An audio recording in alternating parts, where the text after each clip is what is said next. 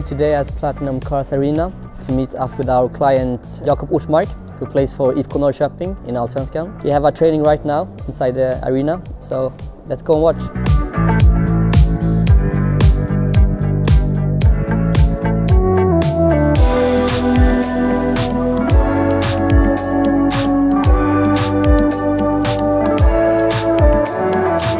Jacob's best qualities as a football player is his technique and his understanding of the game. He's a really smart player on the pitch. In the last couple of years, he, has also developed his uh, defensive game as well.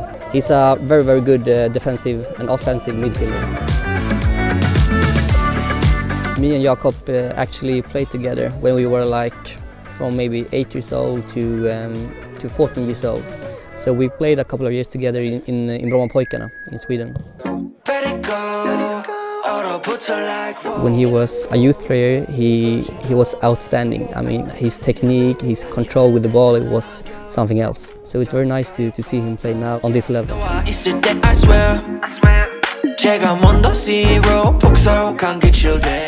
Since I can remember, uh, I've only, only had one thing in my mind, and that's to play football all the time. So becoming a professional here in Sweden and hopefully abroad, it's just like been like a mission.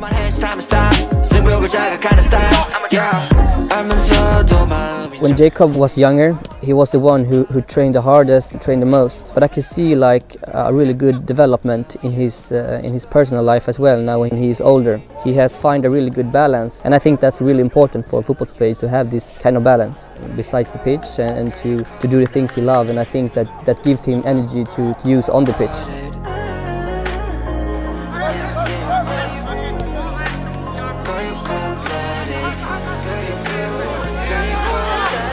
The hardest part, I would say, uh, just you know, the the devil in in the back of your head. I'm saying the devil so everyone understands. Like it's a little little man that's in the back of your head. Yeah, just to managing him. I've gotten way better at that because you know it's always like bad parts you did in the game, not the good ones, and it's like a you have to develop to be kind to yourself in a way.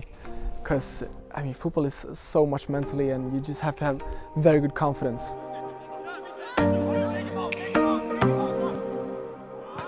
See, Jacob is one of the players who always is last on the trainings. He always wants to uh, to play more after the training and, do extra training and stuff like that.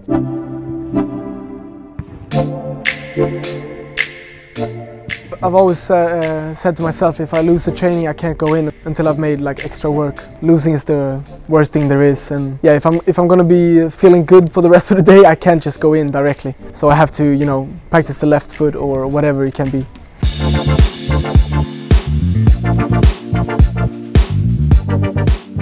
Men ska äta lunch med laget eller? Nej, vi, vi drar och käkar någonstans. Ja.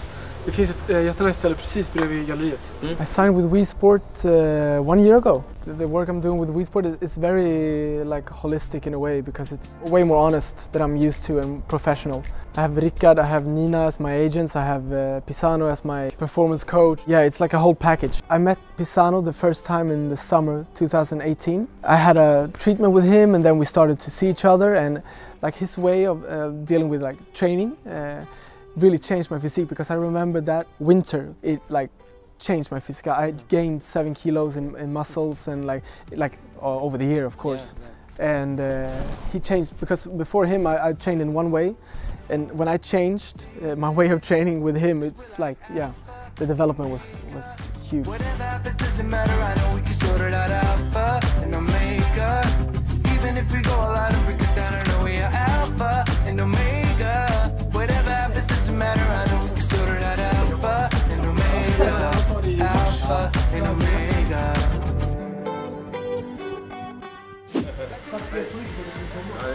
So now we're at the gallery in Norrköping uh, called Konstforum, uh, where I have my first uh, solo exhibition ever.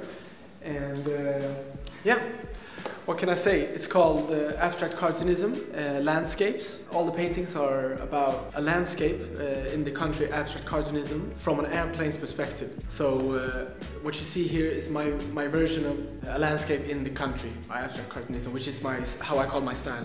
Short introduction. He has found the art, the art part uh, of his life as well. You can see he has a really good balance between between uh, football and uh, and uh, the life besides football, and I think that ha- helps him very much in uh, in his game uh, on the pitch. So here we have the, the biggest piece in the exhibition, actually the biggest piece I've ever done. And it's really about one contrast between two things, the geometrical areas and the expressive areas. How they you know, interact and, and make the balance in the painting. These figures to the left is really characteristics for my, for my style, abstract cartoonism. And uh, yeah, as I said earlier, it's, it's a landscape in this country from a, from a airplane's perspective. Is it a footprint I see there? Yeah, I actually had it on the floor uh, Okay. here when I made it, and I really, you know, got into it and uh, stepped all over the painting. You have my f- uh, footprint in the middle, in the, to the right. The painting, I, I- I guess, just the painting helps me in the way that I can, like, yeah, if I had a bad game or something, I can just, you know, focus on something that makes me me happy in another way. If you lost your game, you feel like shit, like I'm I'm so useless sometimes, you know. And then the art or my my girlfriend or whatever uh, makes me feel that I'm not useless. I'm actually, you know, some person outside of football as well, and yeah, that really helps. And this is my favorite uh, in all the exhibition. I don't know why. It's just uh, very like balanced and Yeah. uh, technically like good uh, in uh, how I see it. Yeah. And uh, like a good mixture of the expressive and ge- geometrical Yeah. uh, ones. Uh, when I played in Degerfors and I had really a lot of time over to spare, I I've always been very ambitious, and y it goes to a point in football when you, Yeah. you just can't train more. Like it just affects you badly mentally. I don't know. I felt like that anyway, and um, then uh, I started to paint a lot, a lot, and uh, it really like fills a, a um, very good purpose, I guess. yeah. And it's it's cool because it's like it fills the ambition quote because I feel like I'm doing something, Yeah, but it's not in an ambitious way. yeah. So it's more like, uh, you know, a joyful and Yeah. very like stress relieving way. It puts me in the right mood. Like, Yeah, okay. And in most cases, uh, like the footballers, as I am or others, like football is everything Yeah. because it, we, we love it so much. Yeah. And maybe that's why it's so important to have some things so like, yeah, you can just have the mental balance. But yeah.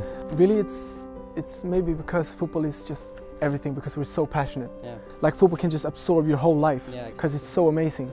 But you, maybe then you just have to force yourself in, in another interest in some way. I- It's a weird feeling because football is still like everything. Yeah. So it's, it's so weird. Of course, the art and, uh, and family, whatever it is, helps. But football is still so Yeah. like it's amazing, you know. Fram, Traustason är här, Stenshagen går in men bollen går ändå till Nyman, vidare på Sigurdsson. Lyftningen, här är Ortmark och Levi. Och den är i mål! Den är ju underbar! Från Jakob Ortmark.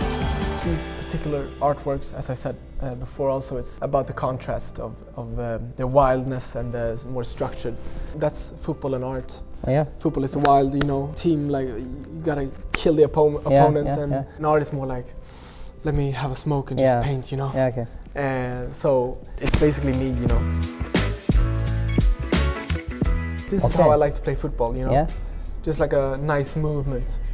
And Like these are the dribble these are the yeah. fucking uh, rules, you know, from the coach telling me I can't do what, you know. You, you think about it. Yeah. Now we're standing here talking Yeah. about art, and we we've known each other like, since we were super Yeah. small. Uh, like the moment. Yeah, you know? yeah. Love the moment. My grandpa uh, uh, actually said a very good thing. He said that uh, Churchill, uh, Winston Churchill, in the Second World War, he said that you have to go from failure to failure with the same enthusiasm. And I think that's exactly what I'm what I'm always trying to do. And sometimes it feels like I'm, I'm losing way more in training than others, but I just have to be at the same enthusiastic level. Uh, I have to have that, and I think that's very well said of him. I, I have that in my mind uh, a lot.